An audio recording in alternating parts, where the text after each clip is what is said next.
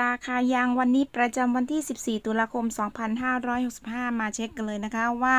ราคาเป็นอย่างไร ขอบคุณข้อมูลจากสำนักงานตลาดกลางยางพาราจังหวัดสงขลาการยางแห่งประเทศไทย น้ำยางสดณหน้าโรงงาน DRC ไม่ต่ำกว่า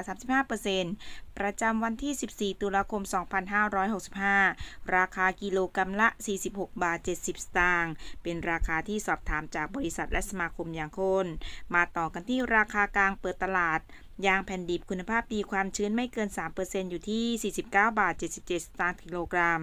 ยางแผ่นรมควันชั้น 3 ไม่อัดก้อน 50 บาท 62 สตางค์กิโลกรัม ยางก้อนถ้วย DRC 100%อยู่ที่ 43 บาทต่อกิโลกรัมค่ะ เรามาต่อกันที่ราคาประมูลยางแผ่นดิบ ยางแผ่นดิบความชื้น 5-7%อยู่ที่ 45 บาท 89 สตางค์ต่อกิโลกรัม หมายเหตุราคากลางเปิดตลาดยางแผ่นดิบคุณภาพดีความชื้นไม่เกิน 3%อยู่ที่ 49 บาท 77 สตางค์ต่อกิโลกรัมค่ะสำหรับคลิปนี้ขอตัวลาไปก่อนเจอกันใหม่คลิปหน้าจ้าบ๊ายบาย